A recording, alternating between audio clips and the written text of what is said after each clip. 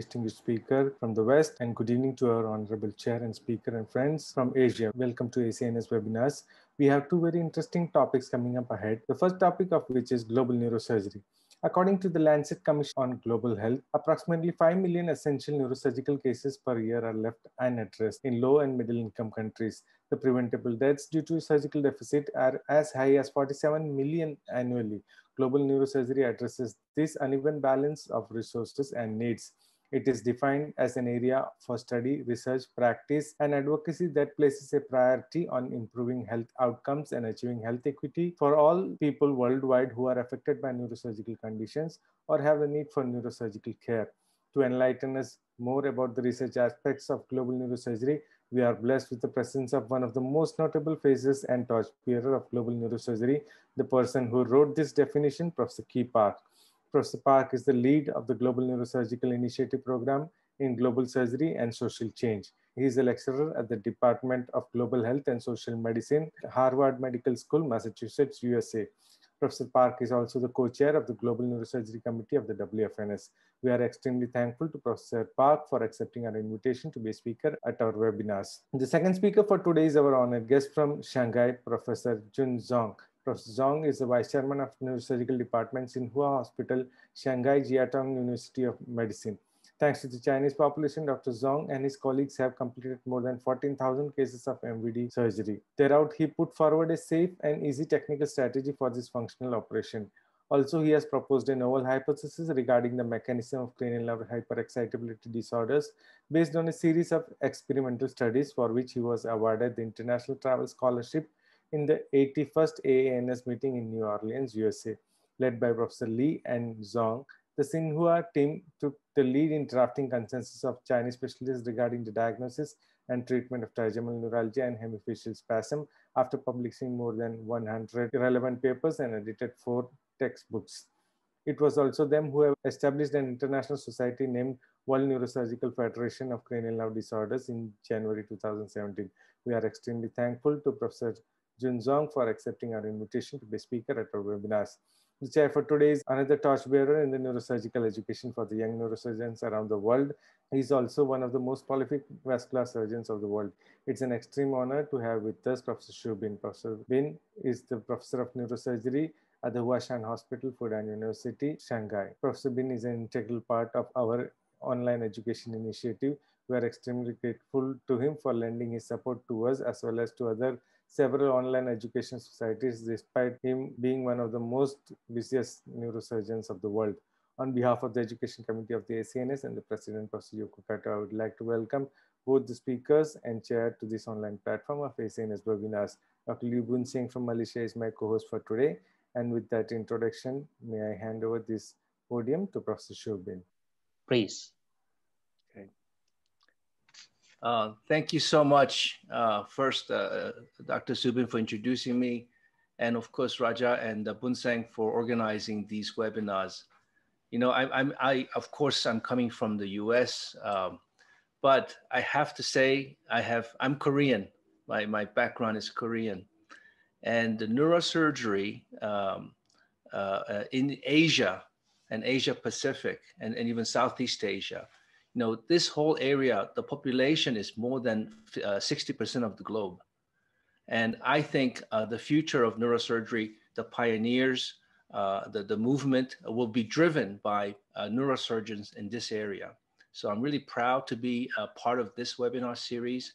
I fully support all the um, efforts to increase the visibility of neurosurgery uh, from this region.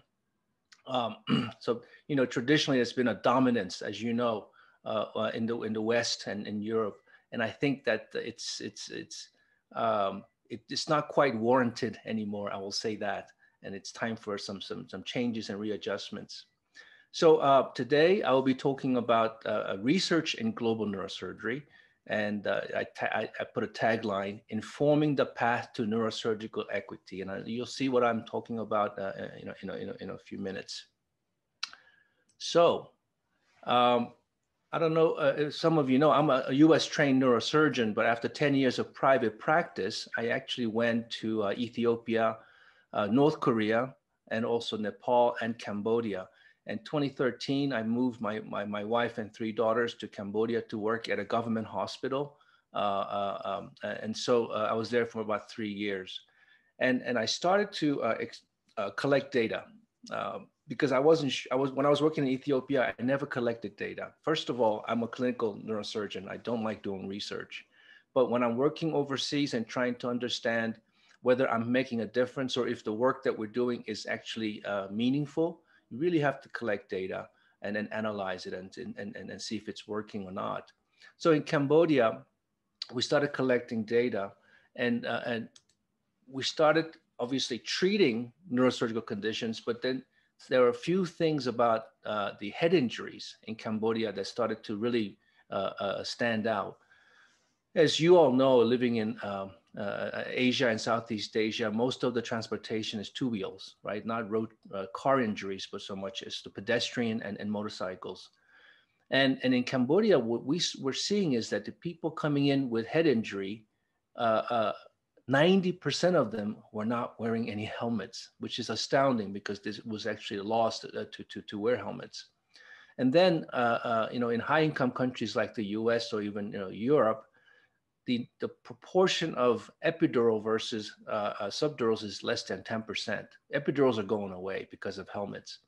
But you, in Cambodia, we were seeing more than half the cases that we're operating on were epidurals. And you all know that the pathophysiology of epidurals, it's once you take the blood clot out, the patients do really well because the, the, the brain matrix, the, the tissue itself is, is, is okay. So then we started to compare the usage of helmets with um, their, their Glasgow Coma scale upon presentation, which we showed that they were much worse off than people who were wearing helmets. The need for craniotomy was increased. And more importantly, um, their Glasgow outcome scale when they were being discharged were worse, significantly worse, if you did not wear a helmet. And we started to publish these results. And then we actually uh, wrote uh, within the Cambodian literature, uh, uh lay literature, and wrote opinion pieces and about two years later, there was a move uh, by the Cambodian government to uh, for comprehensive helmet laws. And it was really gratifying to see that. It wasn't just us, there were other groups working on this, but we certainly played a part in it.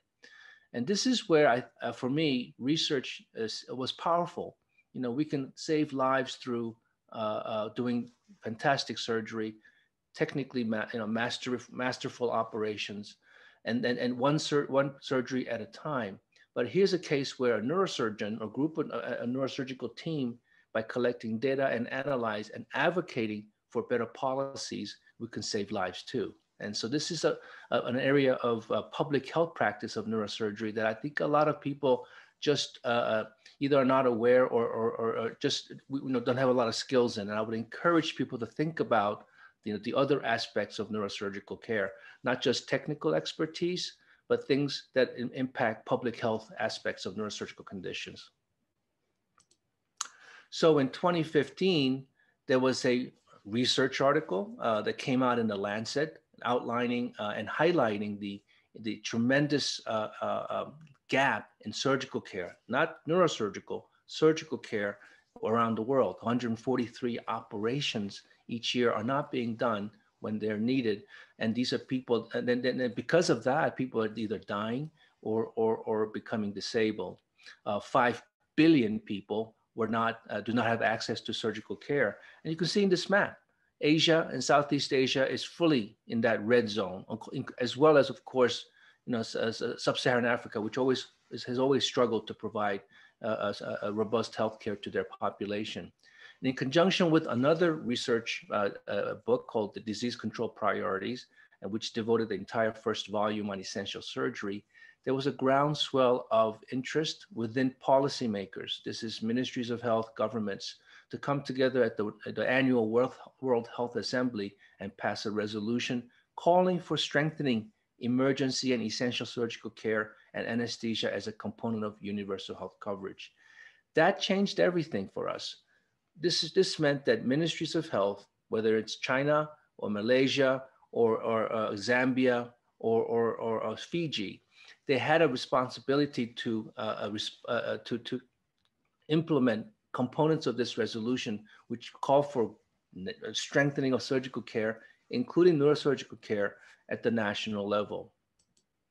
So what does that look like? Initially, they, we recommend that the governments actually start with a, a, a strategic plan, a gap analysis of where their surgical services are, and then come up with a vision for the country and, and, and develop a multi-year uh, plan to in increase workforce, uh, infrastructure, equipment, service delivery, financing, and those kinds of health system domains that we don't really talk about. And this is happening in, in over 50 countries at, at this point.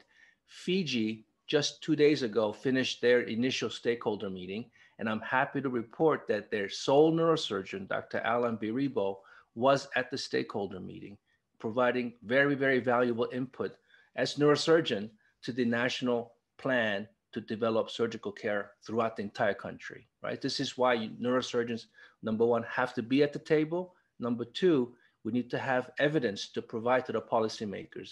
Once again, uh, highlighting the need to uh, uh, conduct meaningful research in the public health aspect of, of, of neurosurgery. Um, this is just a couple of webinars that, that just happened and with a third one that's coming up. And just to indicate the level of interest, the high level of interest within global health governance. Uh, we just had a webinar with uh, Professor Takeshi Kasai. Well, it's Dr. Takeshi Kasai. He's the regional director for the Western Pacific WHO region. And Dr. Poonam Singh, she's the regional director for the entire Southeast Asia regional office for WHO. They are both the, uh, uh, fully committed to supporting member states scaling up surgical care nationally. We also had speakers from the World Bank, uh, Dr. Jim Yong Kim and Dr. Mohammed Ali Pate, and they're all fully supporting surgical scale up in, at, at, at, at, a very grand scale. These are massive, uh, hundreds of millions of dollar projects where they will train neurosurgeons, uh, including neurosurgeons, build out hospitals, uh, nurses, anesthesiologists, and so on. So I just want to uh, shift a little bit about global neurosurgery and where our roots are once again goes back to an incredibly powerful research uh, article at Lancet in May 2015. Same thing that's jump-started the global surgery movement, really pushed neurosurgeons to, to, to develop this idea of global neurosurgery. And of course, this was in 2015. Uh, following year in Bogota at the international, uh, uh, um, the, the ICRAN meeting, the neurotrauma meeting, um, there was a Bogota declaration where uh, Walter Johnson from WHO was there. Franco Servadei, the, the, the, president of the World Federation, was there. And we, we declared that the, there is an unmet, a massive unmet need for, uh, for, for neurosurgical care globally. And more importantly, the responsibility to address that rely, is squarely on the shoulders of neurosurgeons. It's our responsibility as caretakers of neurosurgical conditions. So what does research look like in global surgery? Uh, first thing that you know we did at the program in global neurosurgery at, at, at Harvard Medical School, we wanted to do a, a, a situational analysis, right? And we followed the rule book that the Lancet Commission in Global Surgery did. We wanted to know how many uh, neurosurgical operations are currently unmet. And we came up with a number uh, by analyzing 10 different uh, buckets of neurosurgical conditions, 5 million neurosurgical operations that need to be done are not being done. So this is head injuries, uh, spine injuries, tumors. They get, they don't, they, they just don't get any operations. And what happens to them? Uh, obviously, uh, they unnecessarily uh, end up dying or becoming disabled. And that's truly not fair. And this is 2021. This should not be happening. These are our other, these are our fellow human beings who are not getting neurosurgical case, uh, uh, care that they need. Then we also calculated the number of neurosurgeons uh, that would be needed, additional neurosurgeons to meet this extra uh, uh, uh capacity, unmet capacity. Uh, we also know that there's about 49,000 neurosurgeons around the world. And based on our unmet, uh, the, the 5 million caseload, we estimated additional 23,000 neurosurgeons are needed today. We need them right now to meet this demand. And, and so we need to get busy and train neurosurgeons as many as possible. But not just neurosurgeons, we need to train nurses, anesthesiologists, and improve and, and strengthen uh, uh, health systems. So that's one of the, our, our baseline uh, landmark uh, uh, uh, research that we produced at the, at the program Global Surgery. And I mentioned these national surgical plans that are in process, and they use a specific WHO framework for health systems. Um, infrastructure, workforce, service delivery, uh, governance, those kinds of things. These are the six domains of a strong uh, build, what they call building blocks of a health system. Uh, the Ministry of Health is not is interested, of course, on clinical excellence. What they really need to know and understand is how do they strength, strength, uh, build up a, a health system to meet the population's needs. So they have questions like, how many neurosurgical facilities does a country need? Right? And that based that is based on the volume as well as the ur- urgency of neurosurgical conditions. So we were able to show, at least from data from Cambodia, that after about four hours, the Glasgow outcome scale deteriorates uh, very, very rapidly. So we suggested that you may have up to four hours before a, a traumatic, a TBI, let's say, to get that person to a, a neurotrauma facility. That, that has a lot of implications. You know, it doesn't mean to, it, you, you, that allows the ministries of health to figure out that these places to you know as they scale up neurosurgical services that they could be as far as maybe seven or eight hours apart right? So because if an accident happens here they have to be at least four hours away from one of the uh, facilities with neurosurgeons and CT, CT scanners and so on and so forth. So that's one of the things that we help generate.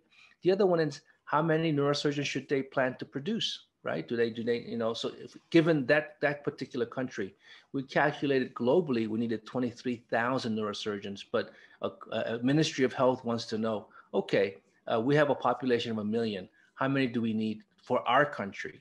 And we're able to calculate that uh, for about every 200,000 people, you should have at least one neurosurgeon to at least meet the neurotrauma demands of that population. So these are kinds of research questions that I don't think that most of us think about. You know, we thought we think about outcomes after uh, into, uh, a surgical technique and whether it's safe and efficacious and what are the complication rates. And those things absolutely should continue. We should still try, should try to improve clinical excellence and push the envelope of, of, te- of technology. But the public health aspects of neurosurgical care, there's a massive gap in, in, in research produ- uh, productivity. So one of the things that the World Federation of Neurosurgical Society has done to respond to this unmet neurosurgical uh, uh, needs is to create a global neurosurgery committee. And uh, uh, Franco Servadei asked me and Dr. El Abbadi from Rabat, uh, Morocco, to co-chair this committee. And so we've uh, once one of the first things that we did was let's make sure that everybody really understands what we mean when we say global neurosurgery, because it was clear that when we talk to people, we get all kinds of different definitions. One person would say, well, yeah, we do mission work. Or, you know, we go to their meetings, they come to our meetings.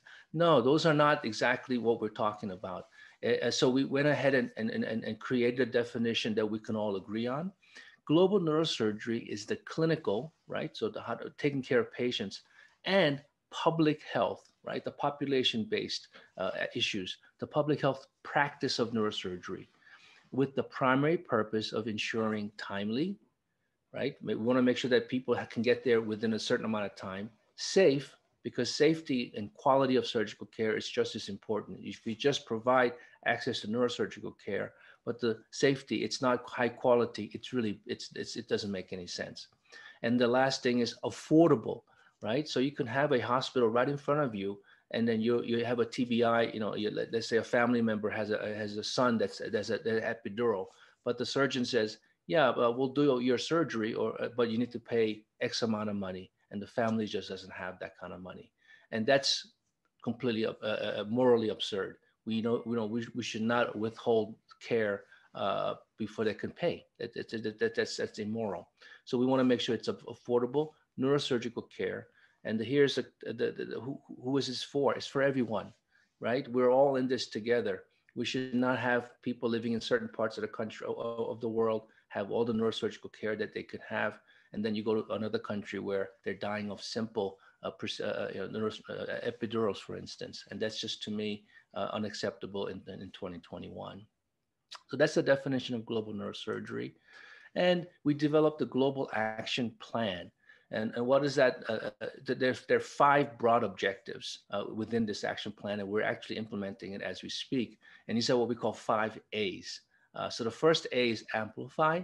We, yeah, we actually amplify access to timely, safe, affordable neurosurgical care, as I just mentioned. We also want to align all global neurosurgery activity. Uh, you know, let's say in, in, Ethiopia, we have team from Norway working in, in, in, this one university and team from America working on another place. You know, there's no coordination happening. We wanted to try to bring together all the actors in a given country and then work with the ministries of health and work, with academic medical centers within that country so that their work is coordinated and, and moves towards a unified goal for that country. And so that's the aligned goal objective. And here's the one about research. We want to advance relevant research, especially from authors from the developing world. Franco Servadei has said this for years. He said 80% of neurotrauma cases uh, uh, uh, in the world occur in, in lower and middle income countries. And that's true. But if you look at the medical literature on how to take care of it and understand it better, 80% of the literature comes from high income countries. And I can tell you from working in the US and, Ethiopia, and then Ethiopia and Cambodia that the epidemiology is different. The, the standard of care is, is very different because the resources are limited. So you cannot take information and research that's generated in high income countries and directly apply it in a lower income setting. It's just not generalizable in that fashion. So we need to understand how, what, what are the conditions and what, what are the valid ways to take care of patients.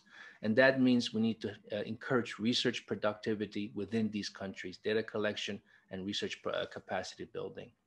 The other uh, A is assimilate we don't want a situation where we have neurotrauma centers all around Ethiopia, for instance, and then their surgical systems lacking. We're not building a neurosurgical center a franchise model. What we want is a build, we want to be part of the overall cervical, surgical system strengthening uh, uh, project and, and, make sure that neurosurgery is part of that. We have to work with other surgical subspecialties, trauma, uh, um, pediatrics, all the others, because we all share common resources.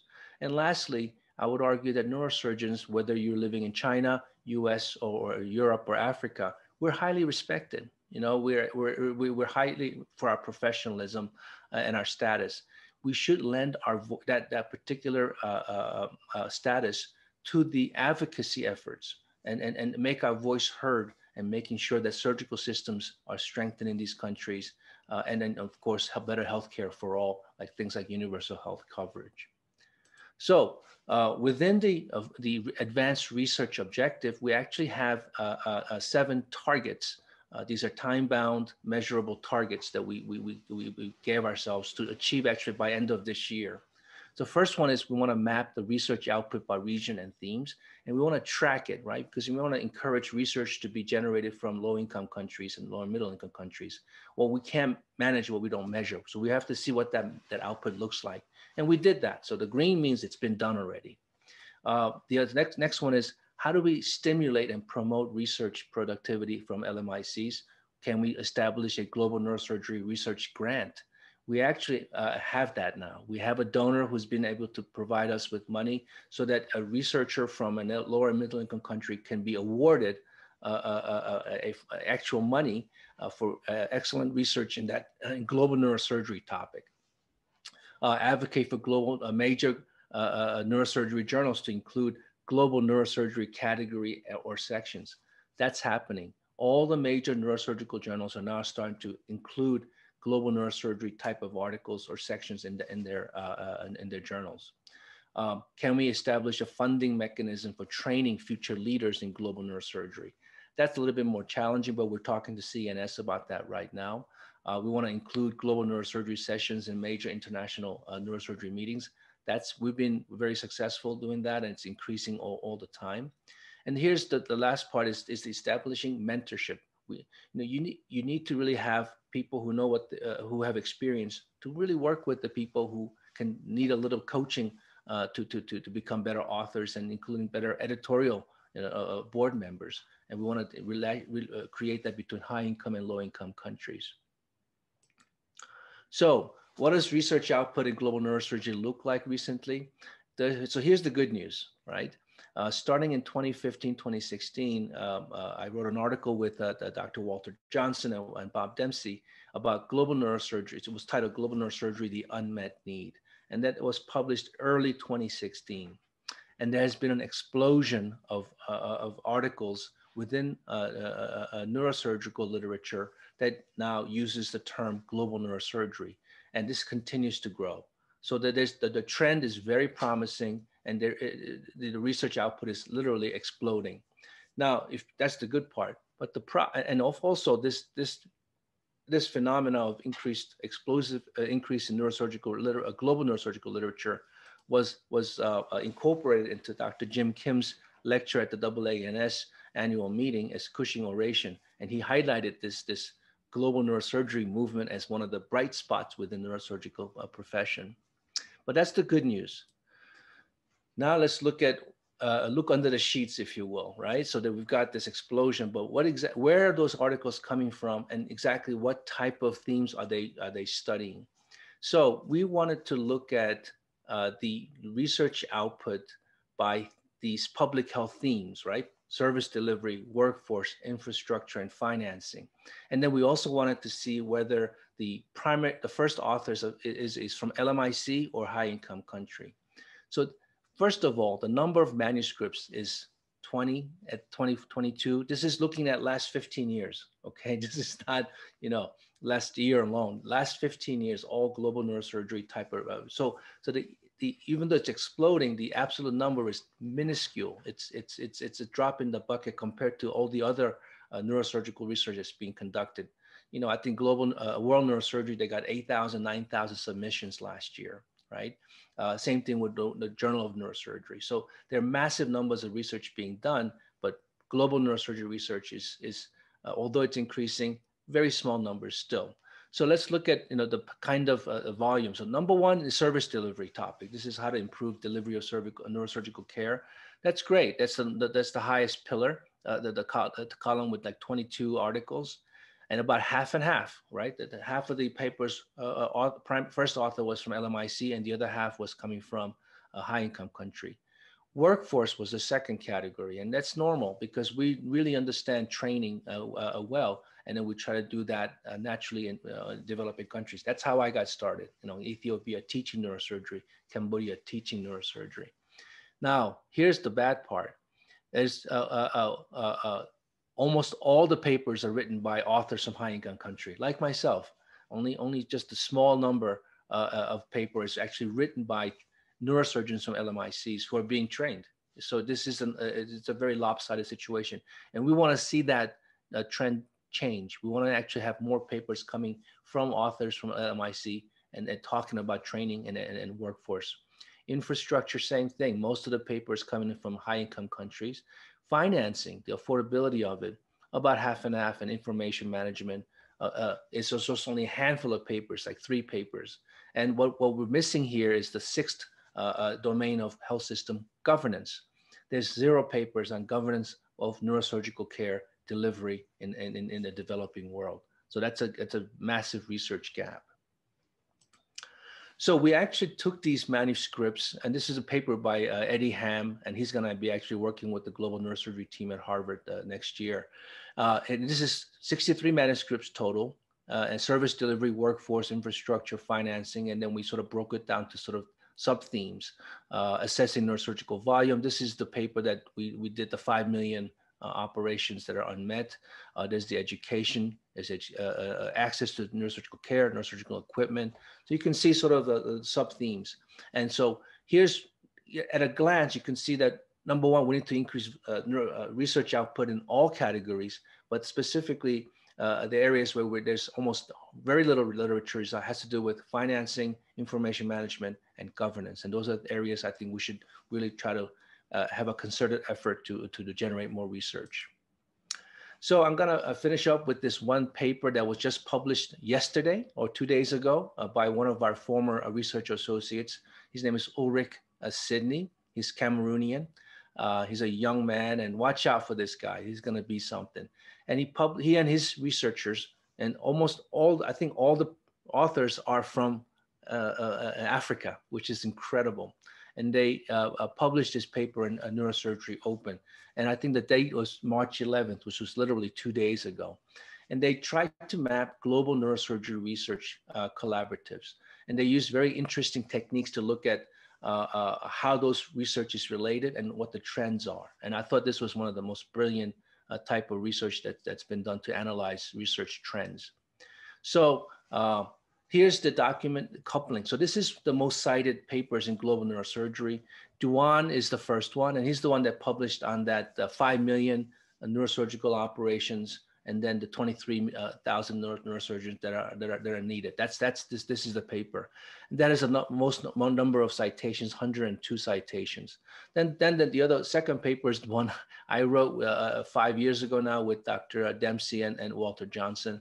Dilan Ellegala wrote about this in 2014 about uh, uh, I think uh, rural neurosurgery in Africa. So you can see some of these um, may, uh, the most uh, uh, cited um, papers in global neurosurgery. But what's interesting is that Ulrick used this visualization tool to show the links between it. So the, this is the, the, the, the, size of the circle has to do with the number of times that the paper is being cited and then who's citing who.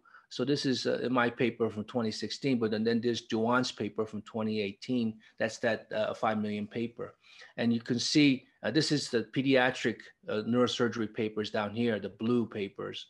And then uh, this is the, uh, the, the, the Ellegala paper. And over here, these are more in the Morocco African group. And then the, they, they've been producing papers and then, then they, they cite each other. And of course, they cite back to the Dewan and, and, and Park's paper.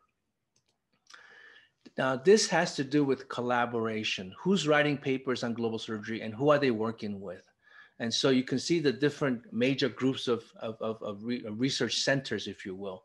So you've got, um, this is the, uh, the Duke group over here on the left with brown and blue. And these are, Duke has had a long-term relationship with uh, uh, uh, uh universities in Uganda, and they have a formal global neurosurgery I think it's called Duke Neuro Neurology, Global Neurology and Neurosurgery Inst- uh, Center or something like that. And, and so they are very, they have a full-time researcher and a team of uh, uh, uh researchers um, uh, uh, working on producing these, these papers. This is, the, the middle is the program in global surgery at Harvard Medical School, which I lead. And these, the, these are the people that we collaborate with Duke people. We collaborate with these uh, Dewan's group, Jackie Corley's group, we, this is uh, WFNS, Franco Servadei, and this is uh, Angelos Kolias from the, the Cambridge group. So we try to reach out to as many groups to collaborate as possible. And then the dark blue is the uh, Morocco, uh, the, the, the, Rabat Training Center.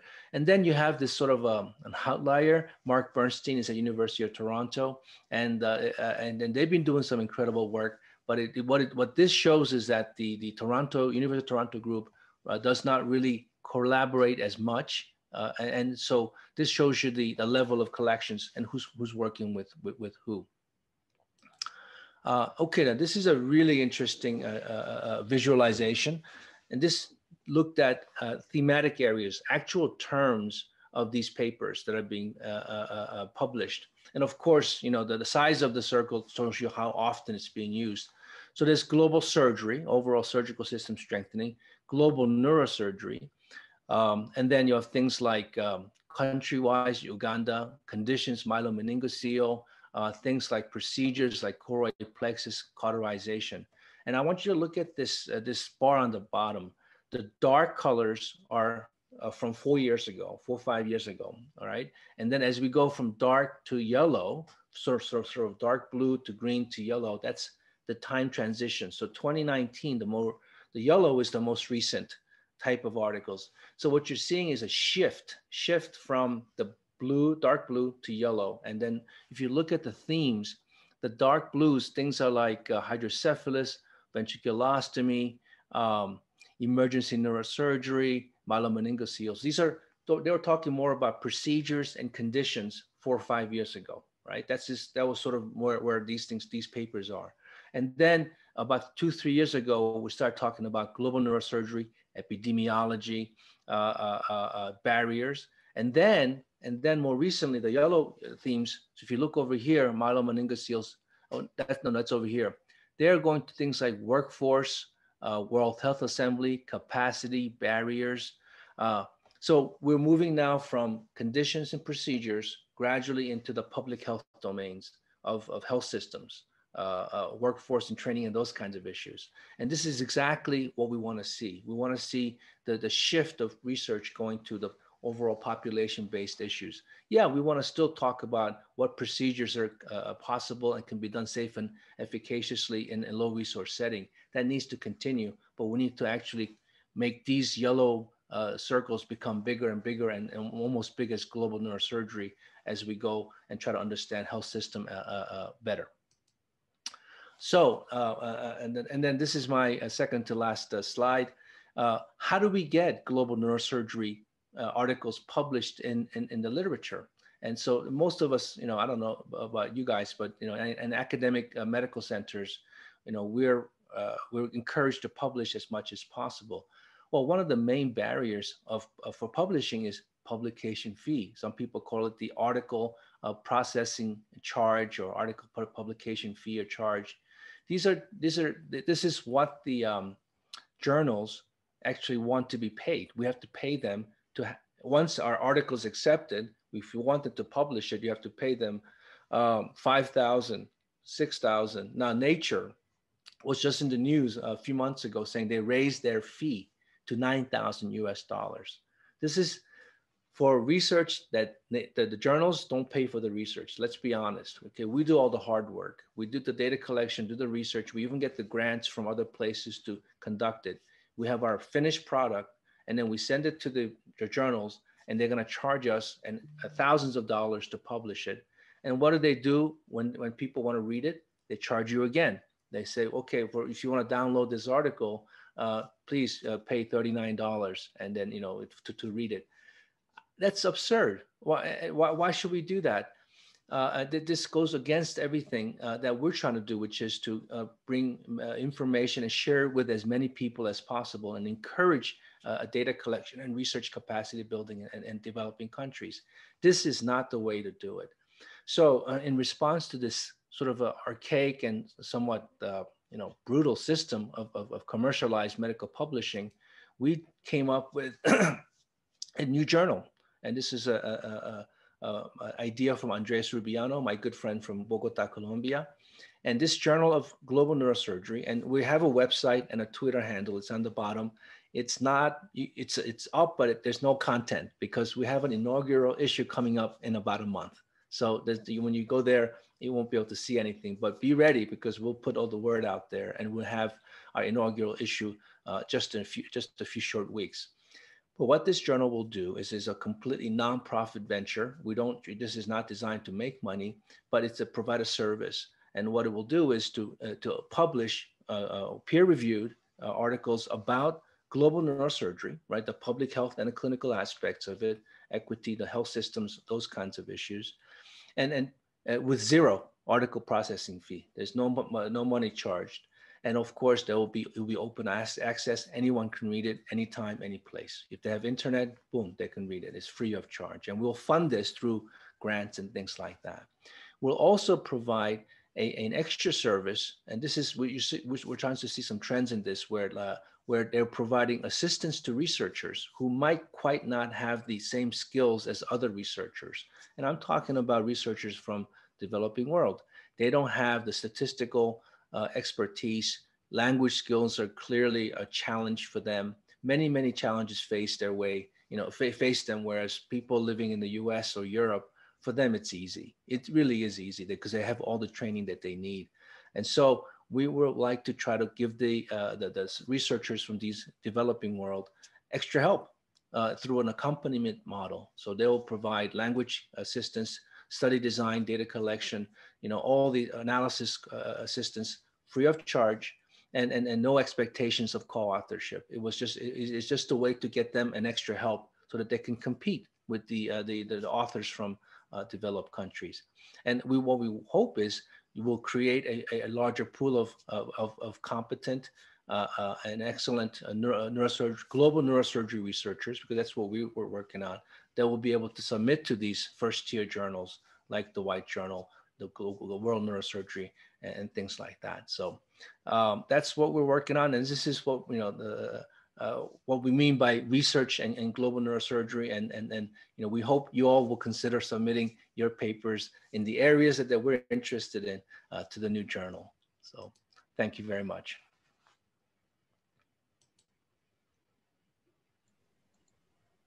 Thank you. Thank you, uh, Professor Park.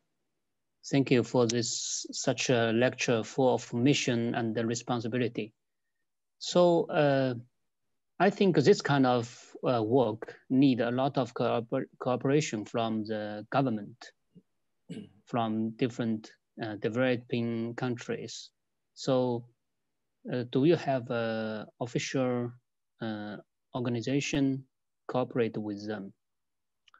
No, uh, uh Dr. Xu Bin, you're you're you're mm-hmm. absolutely right. So when I was working in Ethiopia, uh, mm-hmm. Nepal, uh, and and in Cambodia, you know, uh, so I'll give you an example. In Cambodia, we met with the Ministry of Health and saying, you know, you you you you're there's a shortage of neurosurgeons in your country, and and um, you know you need a, a lot more neurosurgeons in the northern part of the country, etc., and more equipment, including CAT scanners. And it was for them kind of, uh, yes, thank you for telling us, but we have so many other things we have to do. okay. so they, yeah. But so here's what happened that, that resolution mm-hmm. in 2016, uh, 2015, uh, 2015 at the World Health Assembly, that changed everything. That mm-hmm. allowed that that gave mandates to the ministries of health to come back every year to Geneva and report on this uh, progress of the resolution. Now they have to, you know, the, the Ministry of Health has to be, uh, uh, uh, they come to us and say, all right, tell us how we're supposed to scale up surgical care because they have to now report back to Geneva, you see. So it, it's um, uh, ministries are now, uh, uh, they have put surgical care as, as, as, as one of their priorities. And then neurosurgery, of course, has to be one of those subspecialties that that that's you know that feeds that information and, and guides the governments uh, uh, as they scale up. There there is no one organization that's working on this. It's a really a, a community of, of people, academic medical centers, uh, academia like us, researchers. Uh, there's an advocacy organization called G4 Alliance, composed of all the surgical stakeholders around the world, uh, 70 organizations. Um, and then of course professional societies like uh, uh, uh World uh, International College of Surgeons, World Federation of Neurosurgical Societies, actually one of the key organizations in the G4 Alliance. So there's it's it's a really a, a coalition of people working together. Okay, thank you. I think this topic is quite new to most of the neurosurgeons.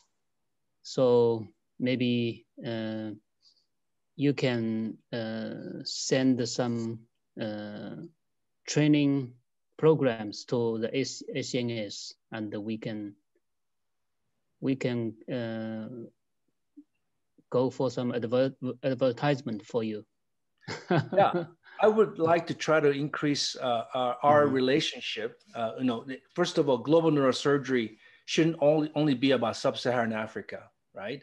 I mean, in, in India and, uh, is huge, and then there are yeah. parts of Southeast Asia, you know, Bangladesh, even Myanmar, and until the, the, the recent coup, there was a strong interest by the Minister of Health uh, in, in, in, scaling up surgical and neurosurgical care.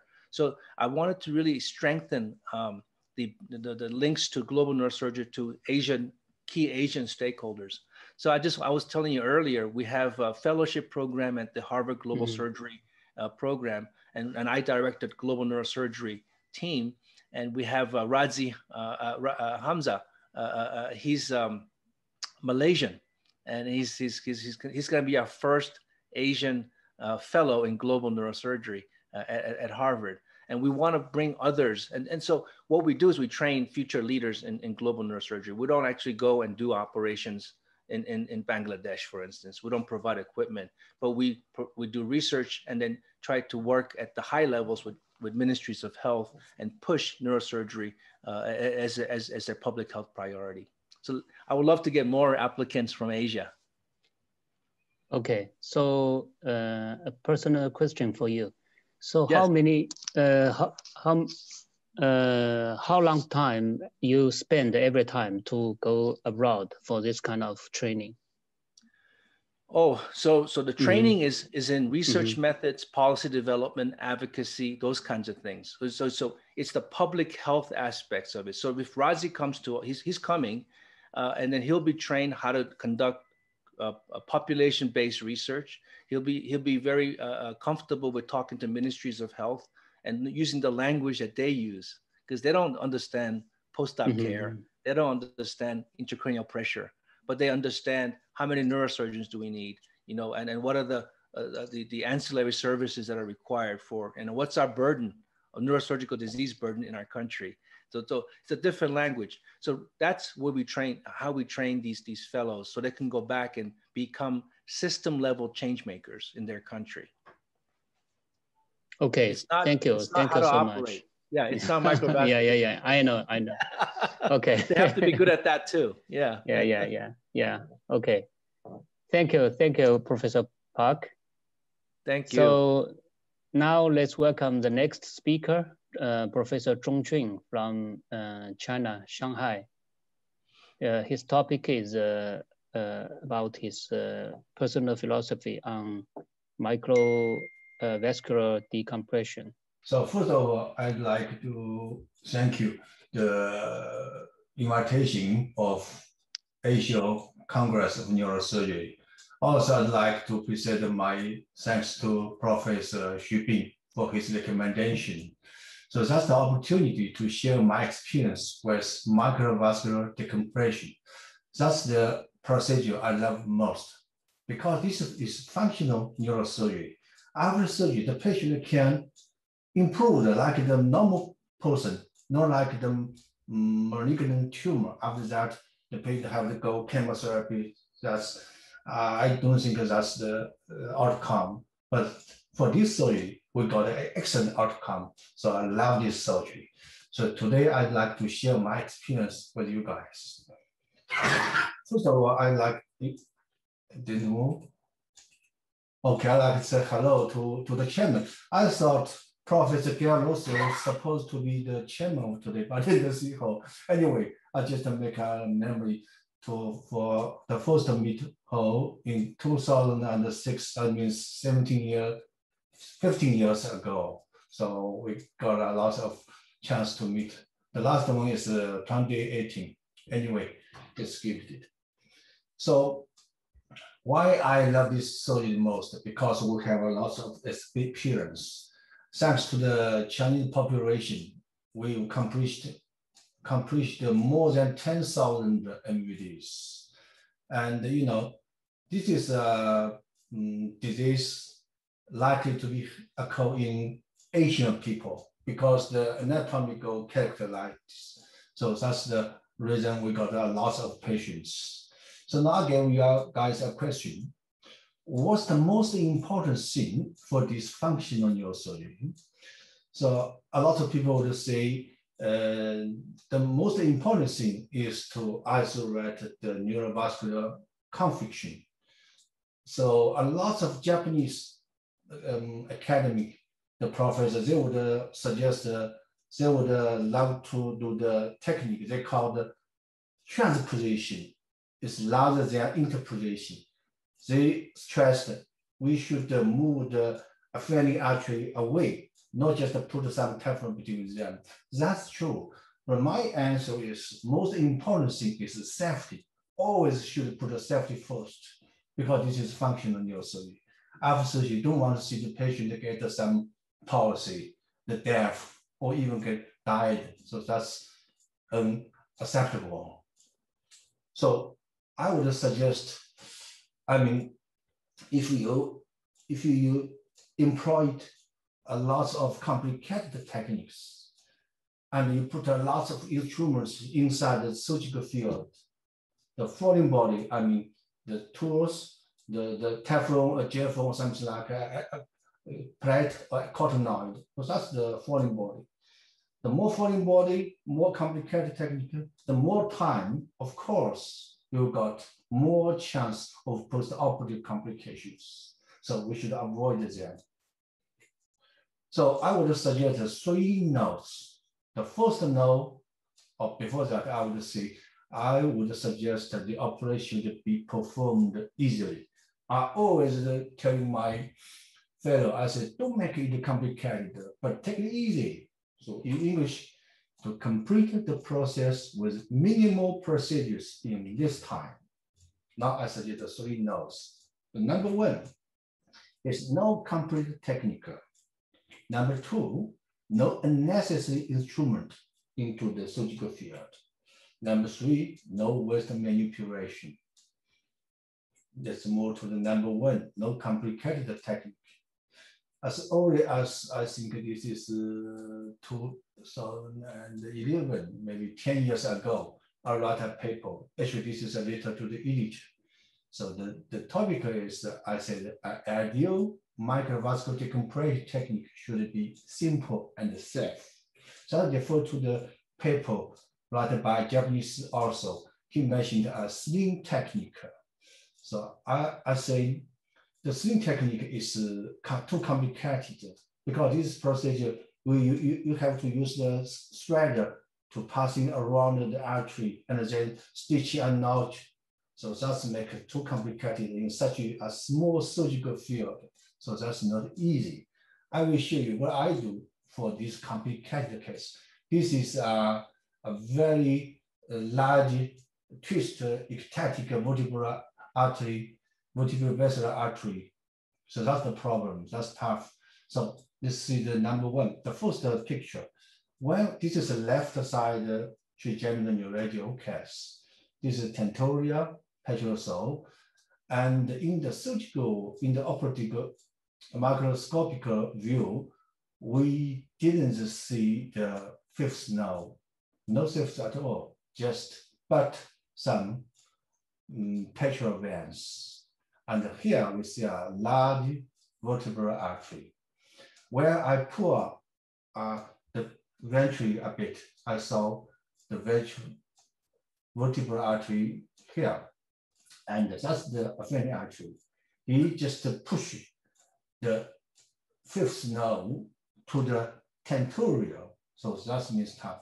You can't, there's no room make a thread to, to sling, to, to, to pull the vertebral artery out. That's impossible. So what I do, move the microscope caudally. And this side, this means caudally, caudal nerves. This is 8, 9, 10, 11. Here, the very caudally and move the vertebral artery to the laterally and the proximally, and one by one between the caudal nerves, put some Teflon to move it uh, out uh, laterally. So when you move this way, like to the culture, to the rostrum, you will find finally the actually already uh, move away from the fifth nerve.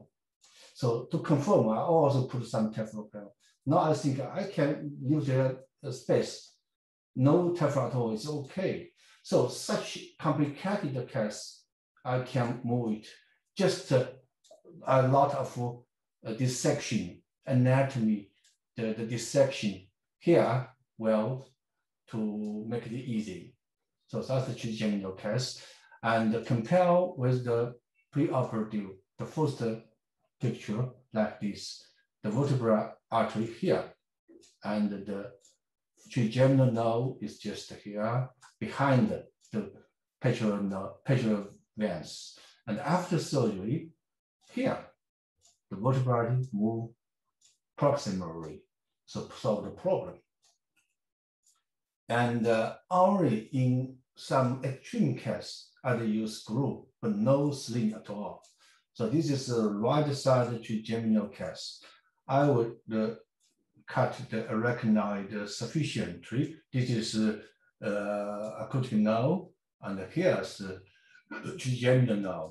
I just opened arachnoid sufficiently. And uh, what I already done, I had put some Teflon here to put it uh, laterally, but it's impossible because it's too twisted. And finally, I found still had a lot of trash here toward the trigeminal nerve. So I just put some Teflon, like uh, uh, make a basement, put some uh, glue and keep the vertebral artery to the petrosal bone for a minute, a couple of minutes, one or two minutes, it's okay. So that's just for uh, lots of uh, cases, just uh, um, around 10,000 among them, just uh, less than 10 cases, I do this. Okay, it's more forward. And uh, this is a uh, hemifacial case. This is the right side. I make it simple. For this case, where I dissect the cautery, I found just uh, actually here, not, not the, this sister segment, just here. I put some Teflon, not Teflon, Geflon, just a Geflon, because Geflon can absorb after a couple weeks. So that means easy, no Teflon at all. We don't need Teflon because this is uh, a soft vessel. It can keep the position. It won't rebound again. So even the uh, Geflon absorbed after a couple weeks. So sometimes even no Teflon will needed even. And the number two, the second now is less instruments in the operative field. Um, I will show you the picture. There's no spatula. I didn't put any spatula bread at all, no bread at all, zero retraction. The cottonoid is my bread, actually. I just use in my left side of the suction tube and in my right side hand micro dissector. It's okay. That can finish the, the complete all per decompression procedure. Because you know, a narrow suction tube can actually offer the more rooms than a wider spatula does at a moment when a local area is being dissected. You can imagine the narrow section can offer you more rooms, just this side. So if you're familiar with the anatomy, the local anatomy, you don't need to expose the whole surgical field. You don't need to, to, to, to see the whole uh, field because you just could do it one by one, one by one. The, the whole anatomy should be in your mind. And uh, the satisfactory working space is obtained by sharp dissection of arachnoid rather than the tract of cerebellum. So sometimes I just make it more easy. When I put the Teflon, I do, don't use the, uh, the forceps. I just use the micro dissect sorry, my, oh, oh, oh, why? Just use the dissect directory. So just make it simple. Just the, the nose put like a cigar, put the Teflon in the tip of the micro dissect. I will just move the directory. Very easy. That means using less instruments in the surgical field. And the number three, no. I mean, when I say you should finish the surgery in short time, I never push you. I didn't mean I, I push you to the surgery to finish it quickly. Instead, every single step should be performed methodically, methodically. So that means make it routinely. For example, I said every the, the exposure is everything for this surgery. This is a small room. We should uh, obtain a surgical corridor first. So the beginning, I mean, those pre-microscopic procedures should be not ignored. Some soldiers just say, that's not my job, that's my first job, you do that. I just, when you uh, scrub in, I just, uh, when you microscope in, I scrub in. So that's not good. So every step should pay attention, even the position. It, I would suggest that this position. You know, the Chinese people is okay, we don't have obesity problem. Some foreign Western people get a very large body, very large shoulder. Well, uh, obstacle your access, your right hand, you, you can move it. So make the, some room for you. So before you make incision, you should keep in mind that you are access, that facilitate your procedures. The position and the incision, you should make a right incision. It's very, should be very close to the sig sig sigmoid sinus sometimes the hairline is very medially. But you, for cosmetic, which is the follow the hairline, but we can cut the, the muscle more laterally. So that's the uh, uh, for craniotomy, very close to the sigmoid sinus. Sometimes you can open the cell. It's okay, just put some wax. It's safe. And the durotomy, put more dura in this side. That means can protect the cerebellum and leave uh, small one in this way. It's it, as soon as it can be stitched, it's okay. So this is the steps we should pay attention.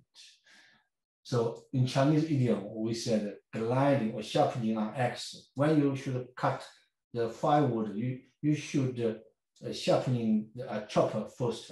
So that means save your time actually. And uh, I would say a lot of people, they, they know to exposure the facial nerve, they will go this way, laterally. And uh, I would suggest a caudal lateral approach from caudal to the lateral. So this is acceptable for hemifacial case. People say it's okay, I will just go low. But a lot of people just uh, for the trigeminal case, they go this way. They allow the tentorium. But there's the problem, they got some obstacle. That means properly approach. There's lots of petrol vents. Sometimes you cut patients, you will get disaster outcomes. So for trigeminal case are also in this way, from this way, open the petrosal fissure, or we call, say this is a cerebellar fissures, open it, like a sylvian fissure, open it. And I'll show you a, a movie. This is the right side, can be facial case. This is the eight and seventh. And I just uh, uh, cut the arachnoid sharply. This is a petrol vents. I don't, I didn't, I never go this way. I go, also go caudally to the laterally. So after you open the arachnoid thoroughly, you will find the IEZ area clearly even the palm, the palm here, this is a artery. It's very clear. It may facilitate your decompression procedure. You don't need to cut the to sacrifice this the patient veins. So that means any redundant manipulation should be avoided in this surgery. And uh, for the hemifacial case, I would suggest always focus on the exit of the seventh root. So that means the extra of the seventh root. So about more than 95% or even more, the chance the offending artery is here, the conflict side is here. So when you found the artery, offending artery, you move it, and this time you will find the, the AMR vanished, the well gone.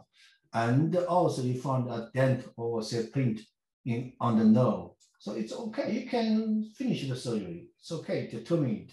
You don't need to make another dissection the laterally, don't do that. So that's a retina intact in this case. So you just do this area, so that means safe and quickly. And uh, sometimes the dissection should be very medially. You should be go very medial enough to expose the pontomedullary sulcus like this. This is uh, left side hemifacial spasm. So this is a uh, caudal nerves. This is eighth and seventh. This is uh, seventh, ninth.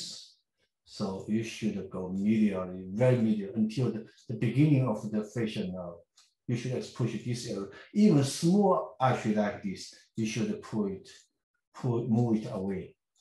It, actually, this is the main offending artery. I already pulled it away, but also it's better to put some Teflon, small Teflon here to move the small vessels. And sometimes the conflict could be more inferior medially than you expect, like this case. This is also left side hemifacial spasm case. So nine, eighth, seventh, ninth, so this is offending artery just uh, close to the ninth. Be, because the, the seventh is uh, very close to the ninth, the, the rest from the, the palm, the, the, the brain stem. So you should go medially uh, laterally. And uh, how to balance the cure and the safety. So this is the left side hemifacial spasm case. So in this case, that was tough because adhesion. The ICA and the PICA also adhered to the petrol bond very tightly. You can't uh, to, to dissect it away from the bone. Some people would suggest you just cut some dura to pull it out. So take time and make just take a risk. I just opened a, the arachnoid sufficiently slowly, carefully, and even though it couldn't see the um, area, that very medially, because I couldn't rest the cerebellum enough. That's okay. I didn't do that to, to, to make it, uh, the, the beginning of the, the S same as node. S node is behind the cerebellum hemisphere.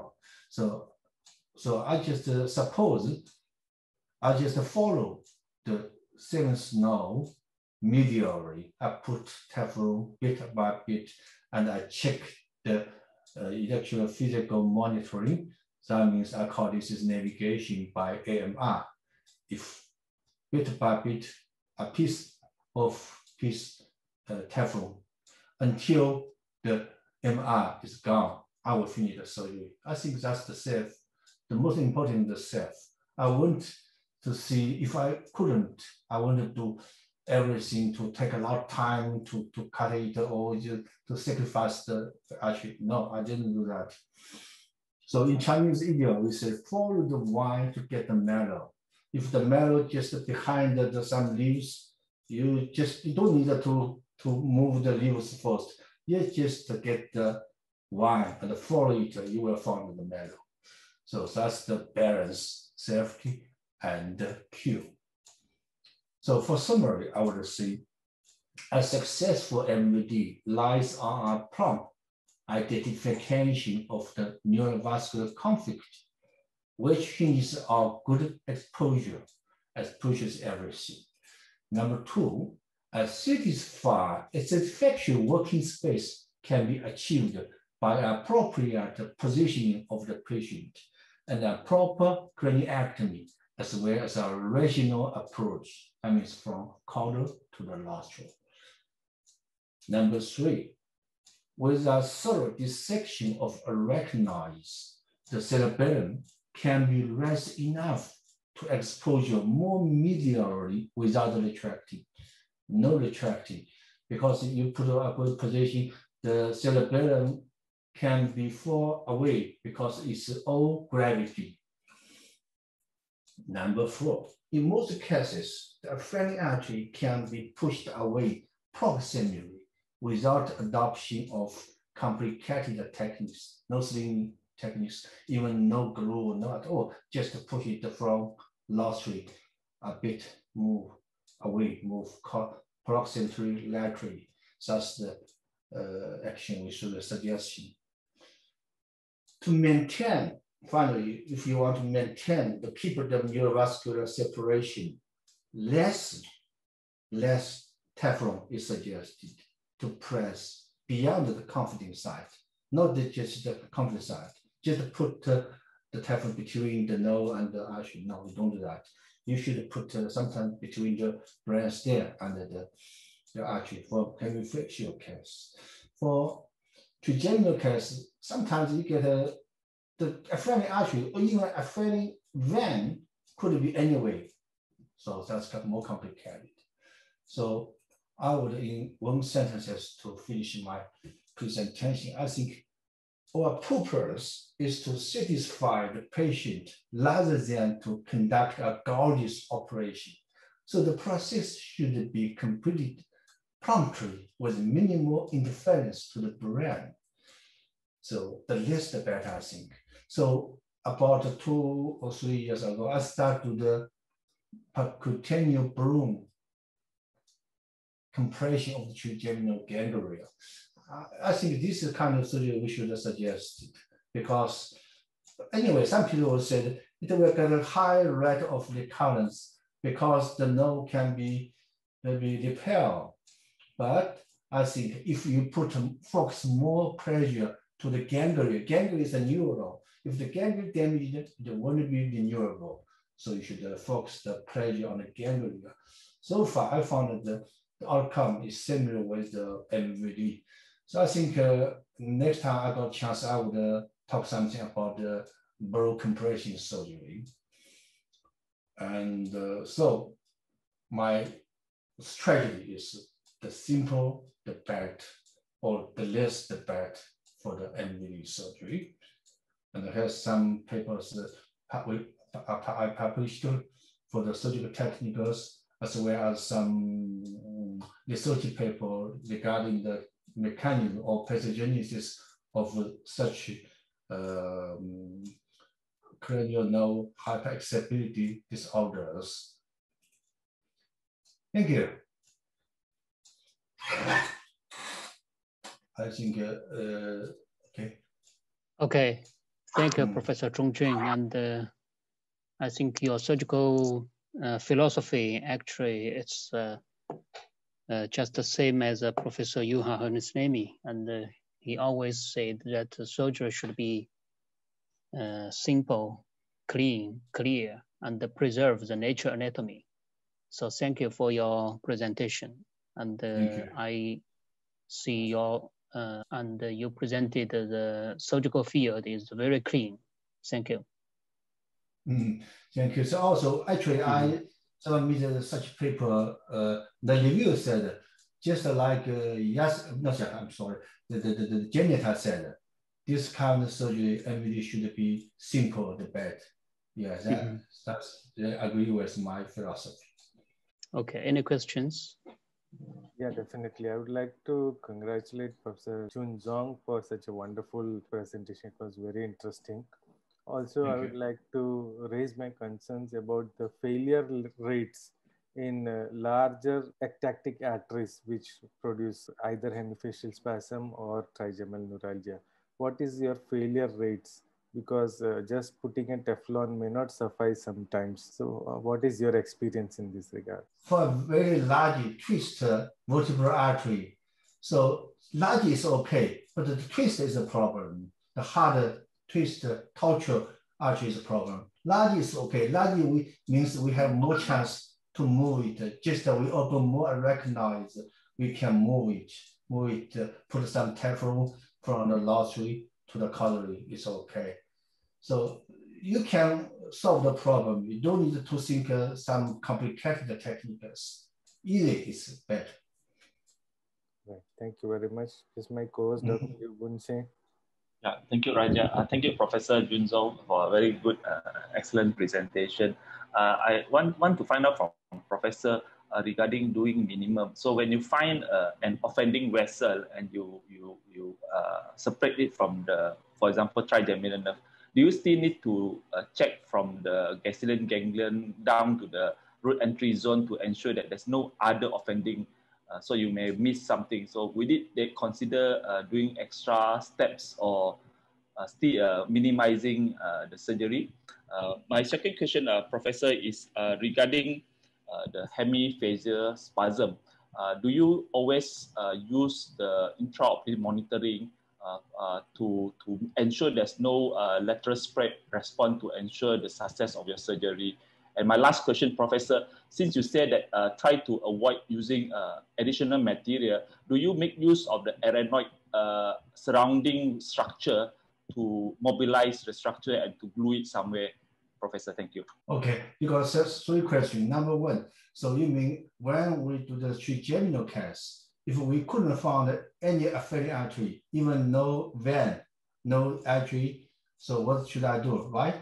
No, Prof. Uh, my question is, if you found one artery, how are you sure that artery is the offending artery? And will you try to look for any other artery along the, the trigeminal nerve to ensure there's no other artery? Whether sure, that sure. consider minimum step or, or need to be done. Thank you. Yes, that's different with the hemifacial case. For trigeminal case, I will check everywhere along the, the, the, the root, intracranial root cause. Because for trigeminal case, there's a, it can be happened anyway around the nerve cause. So I will check all the nerve for trigeminal case. But sometimes we couldn't find any affecting no coverage So in that case, I just uh, use some kumi, you know, some very sharp uh, knife to make a, to, means neurolysis, kumi. It's okay, no numbness after surgery. It's okay, it's a work. But now I just prefer to the, the balloon compression. I would suggest that surgery. So that's the first, your first question.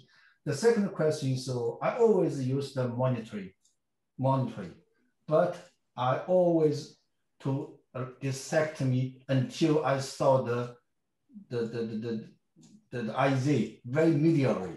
Mm-hmm. If I saw the very medially, very caudally, mm-hmm. if that time we got still some um, positive MR well, it's okay. I finished the surgery.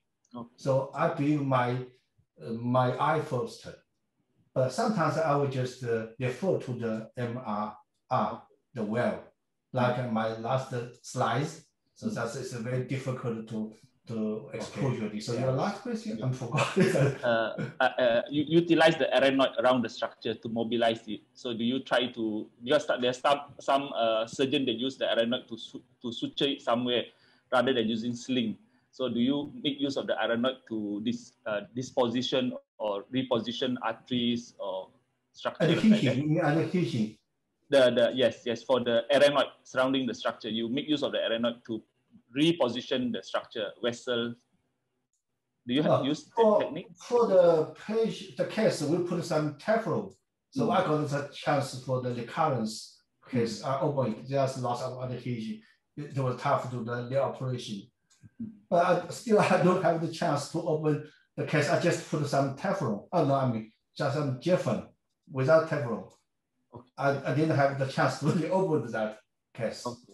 There has been a question from the audience.